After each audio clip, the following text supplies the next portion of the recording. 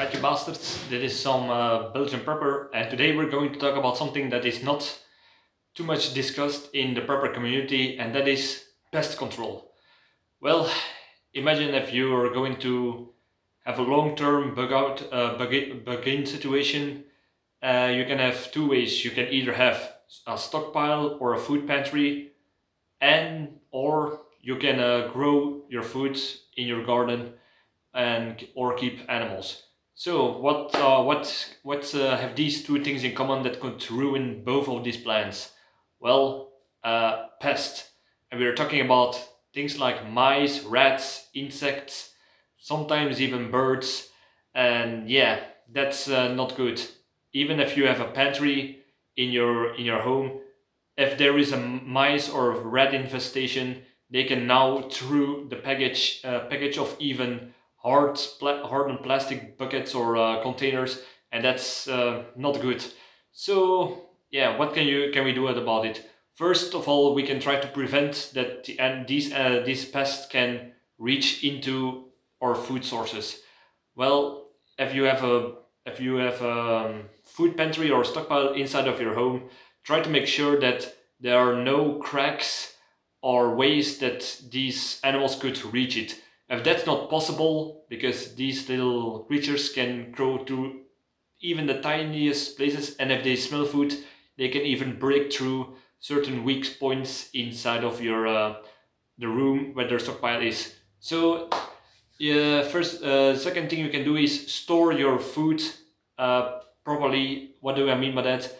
I would suggest in very hard plastic where not even the most determined little bastard of a rat can now through through it and or you can store it high enough where they cannot climb easily on it or in a metal containers. So those are the things you can do to prevent that these uh, pests can get into your food stockpiles. Um, yeah, but that's not always enough. So if you have uh, a rat or a mice problem, there are several ways you can deal with it, but we're talking about a survival situation, you so you cannot always go to the store for poison, for yeah, for poison or these modern traps.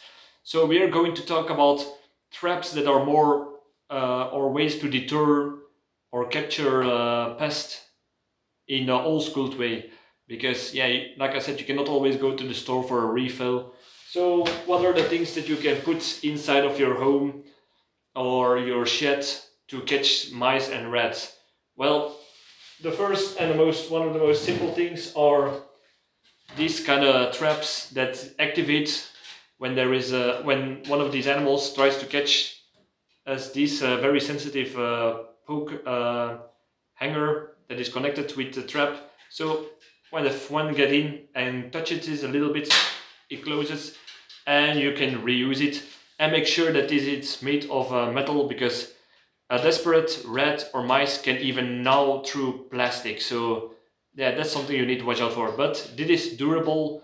Uh, it will not. This uh, is made out of stainless steel, so it will not rust. So you can even keep it outside or uh, inside of your barn um, and inside of a, a cellar. So yeah, a trap like this, it's old school, but it still works perfectly. Uh, the next thing you can do is very simple, uh, these mice traps. Uh, this is a modern variant, you have the wooden ones, but I prefer these ones because in the other, the old ones, they have more chance that you can escape from out of it, or they are can get, or they can activate it without uh, getting hurt. Uh, this one, it's more tougher with it, if you can see it. It's a very sensitive uh, platform from, you put it inside of this thing, and the moment it touches this little piece it will uh, snap snap uh, close and I can assure you this is very very deadly because of the power and the little spikes and they will not even can escape out of that the mice. So yeah a few a few of these and a routine check and you will uh, be able to catch a lot of mice. Uh, yeah this is uh, the what I always use as bait is the same thing that they are after. Most people would uh, would put something in like uh, like the traditional cheese, but that did not work. What I uh, what I used to what I what I always do is uh, in the shed where I keep my guinea pigs, they the it will attract a lot of mice. So that's something I cannot cannot prevent. There will always be mice in there because it's a little bit more in the outside, and yeah, that's a hard way to keep the mice out. But what I always do is I take some of the food of the guinea pigs and I put it in this. Why? Because it will it will something it will be something familiar for the mice, so they will not see it more as a danger. If you put something in that it, that they do not on a regular basis see the mice, like peanut butter or chocolate, some will get attracted to it and others will be wary of it and will not go to the trap. So try to put something familiar in that the mice, if they are always there, will be familiar with and will not be wary when they uh, get onto the trap. So that's a little trick that you can use for uh, catching more of the mice. Uh, next thing you can do is, yeah, I've told rat, rat poison is not uh, mice, uh, rat and mice poison is not available option, but if you're going to use poison uh, like this, I would advise to buy several types of rat and mice poison. Why?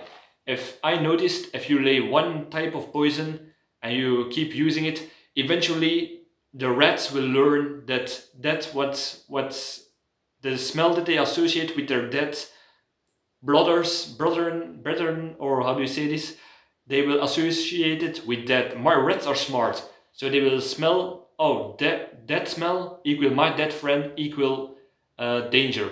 So if you keep changing the, the how do you say this, the poison, the poison, they will not get familiar with, they will not learn that quickly from it and you will catch more mice with it.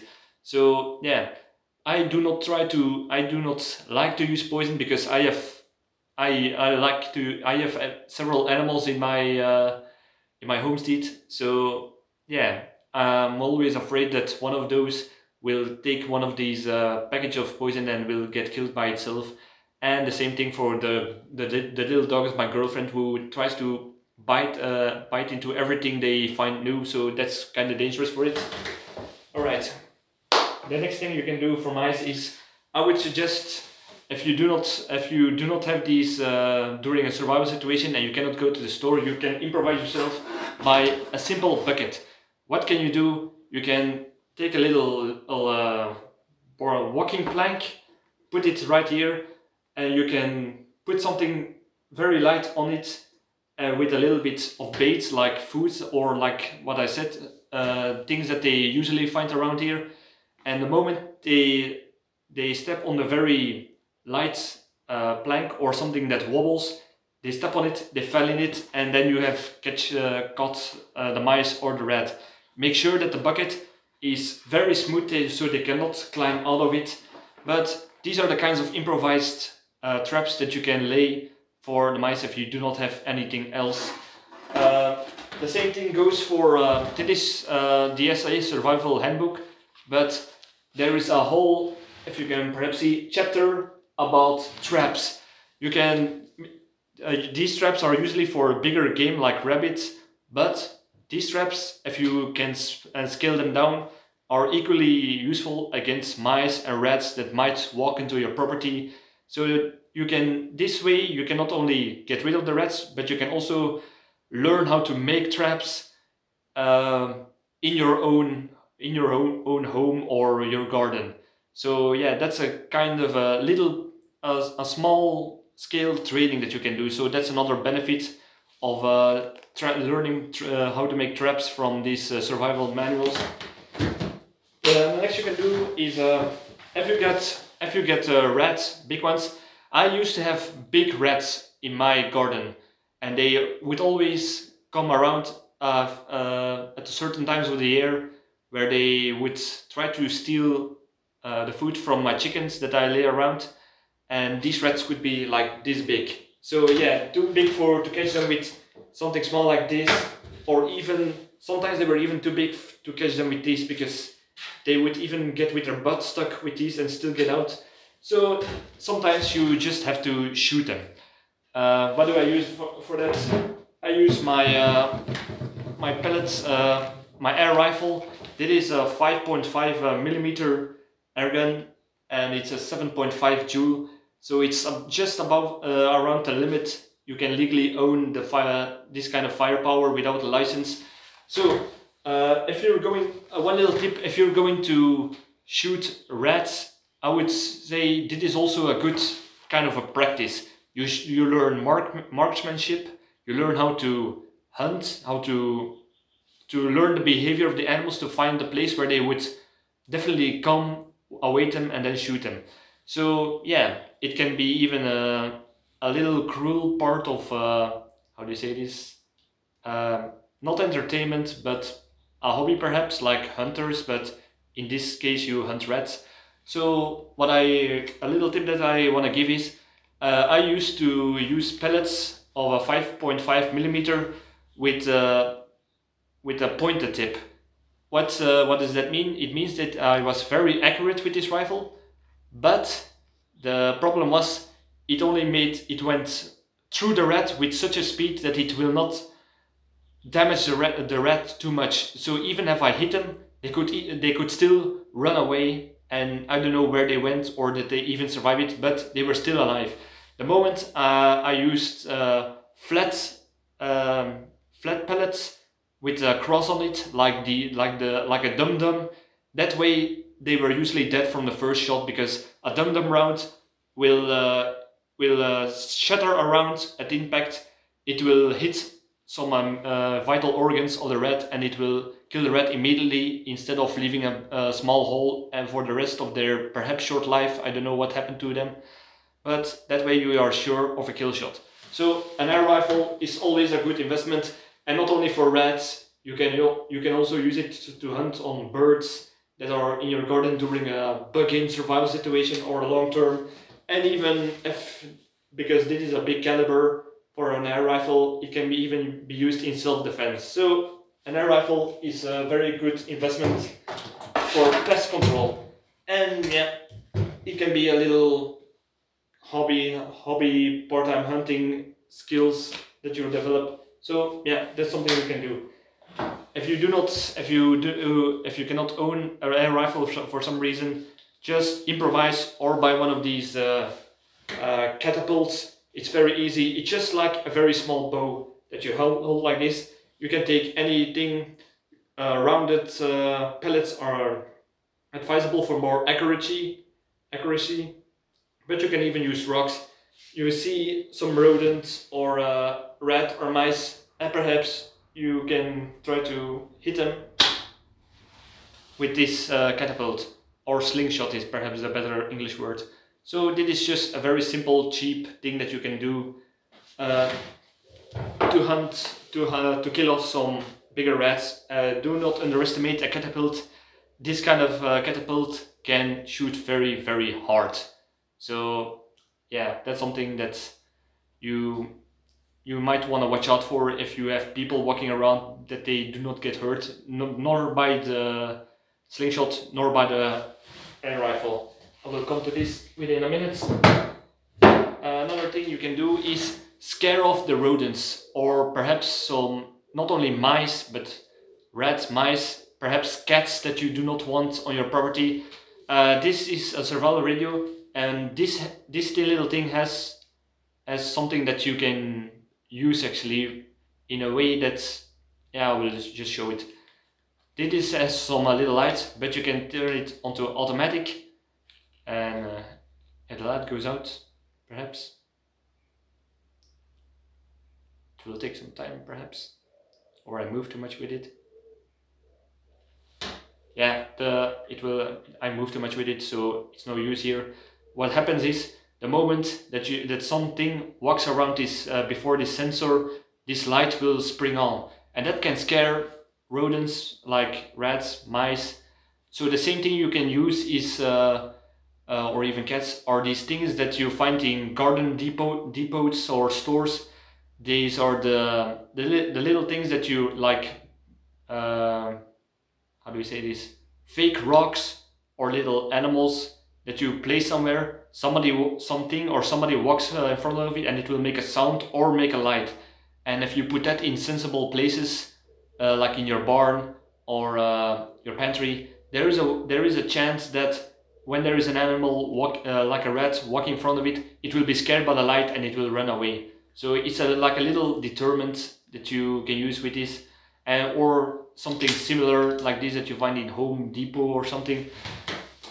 Uh, yeah the same thing uh, i do not know if this is true it's been uh, it's kind of a myth that i cannot find uh, disproven or proven of, about it. So if you have some uh, experience uh, or knowledge of this, I would really like to know because I heard that rats get scared away by if you have guinea pigs. Something to do with the sounds that they constantly make.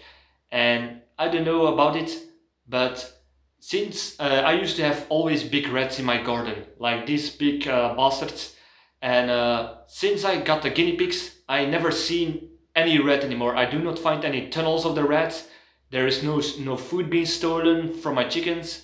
So yeah, since I got the guinea pigs, I do not have any rats anyway anymore. So the mice I do have. They they are not scared of the guinea pigs, but rats for some reason I do not see that see anymore. So yeah, that's uh, in a way using an animal to scare another uh, away. I don't know if this is true, but it's something that I noticed.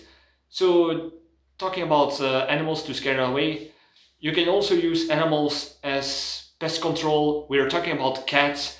If you have a few cats around, these are master hunters.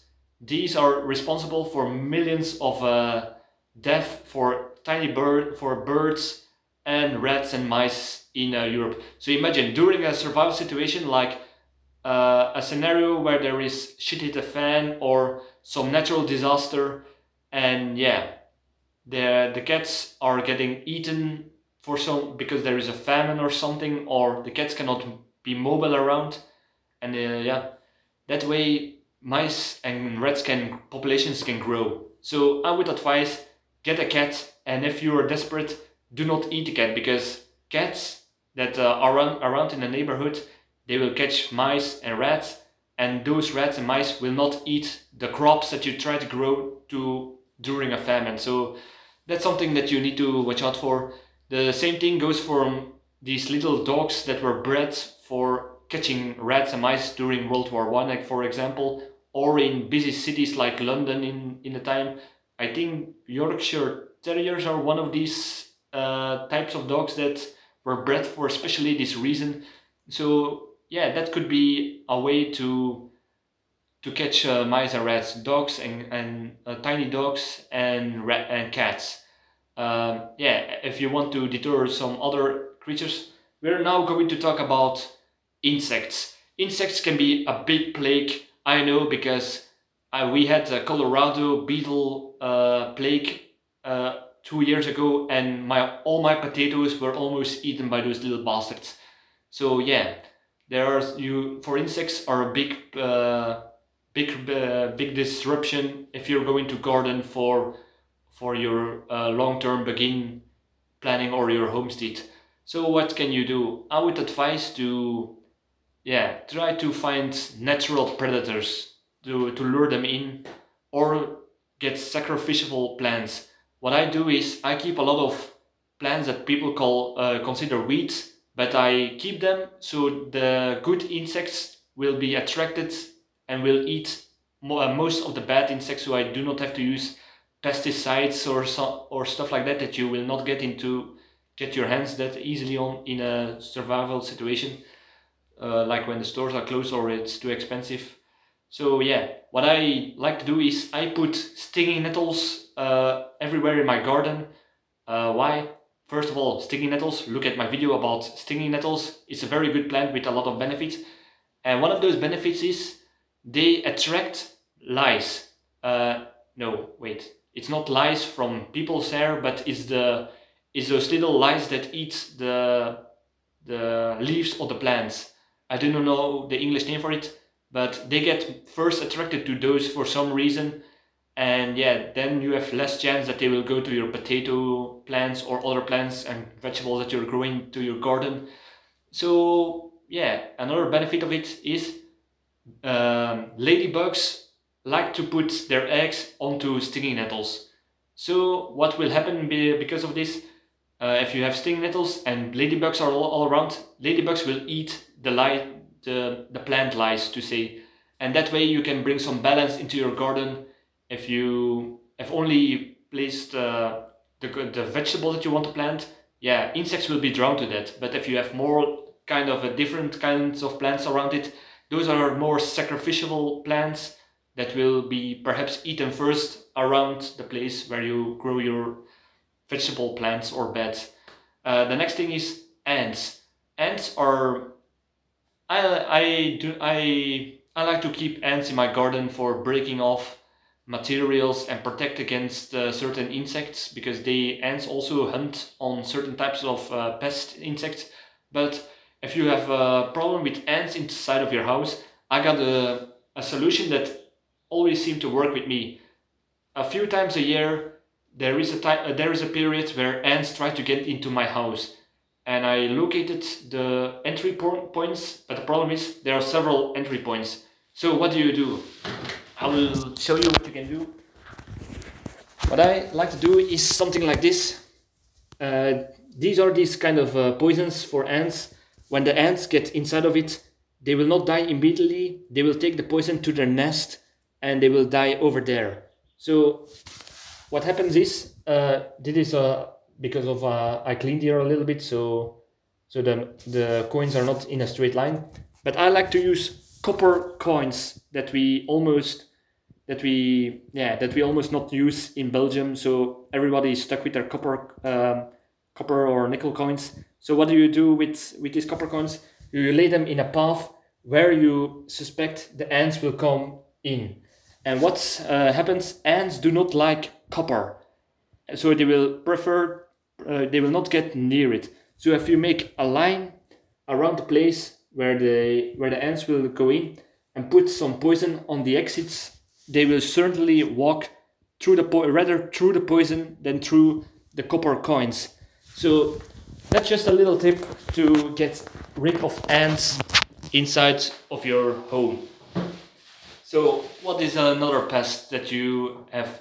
Mosquitoes. Well, I would uh, I would just say to get some netting uh, inside of your uh, windows or doors that uh, mosquitoes will not get that easily inside. But if they are inside, you can perhaps use something like uh, there are certain types of herbs that uh, that uh, mosquitoes will not uh, like to get near to it. So like citronella, uh, la lavender, uh,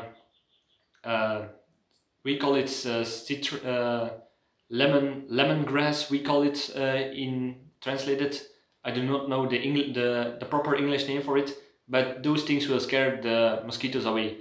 Uh, smoke will also deter uh, mosquitoes and garlic apparently but I'm not sure about that last. I will test that one out but it's just an idea. So if you have any ideas to get rid of mosquitoes in a survival situation please let me know it especially for little uh, midges midgets uh, because I going on a hiking hiking in Scotland and there are a lot of midges. So if anybody has some tips about those how to keep them off you please let me know uh, within a week because then I'm going to uh, a few weeks because then I'm going to Scotland.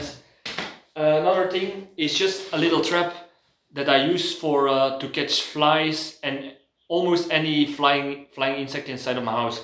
You take one of these plastic bottles and you cut the top off. You fill it with something sugary like uh, lemonade or sugar water. You take the the piece that you uh, cut off, put it on top, make sure that the sides that the sides are are closed off, and that way the in, the insects like wasp, uh, flies, perhaps some some types of mosquitoes will get inside of the funnel, uh, will go to the sugar water, but they cannot get out anymore. So this is a very good improvised way that my grandma always used with success to catch flies, and it's very cheap, and you can reuse it over and over again. One little tip if you're going to fill this with sugar water or lemonade, always take the top off before you fill it because uh, if you if you just leave the, the top on it and you fill it, then this will be will be a, uh, glazed with the sugar water and the insects will not go inside of it. So make sure that you do not, not uh, get any of these uh, bait liquids onto on top of it. So yeah, that's another thing. Uh, there's one last thing that I use for uh, for to deter uh, to get rid of flies because we all know if there is a fly or a mosquito in the house, we all have be, have taken a rolled up a paper and went after it like a like like some crazy berserker or with a fly swap and going after it but these little buggers are very fast. So what I like to do is this will might sound strange but this is a very small air rifle from my grandfather. It's one of these types that they use in the carnivals. Uh, the spring has lost through through it, this thing is almost like 50 years old. The spring has worn out but I, it's still strong enough for the next purpose. You can do this also with bb guns airsoft guns that you do not use anymore because of the reason i'm going to tell.